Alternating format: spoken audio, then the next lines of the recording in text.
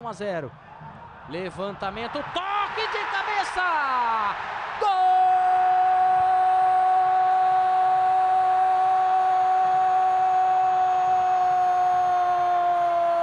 Rafael Costa! Rafael Costa! Rafael Costa, o artilheiro do Ceará, se posiciona bem, salta demais na bola, mete a testa nela para comemorar.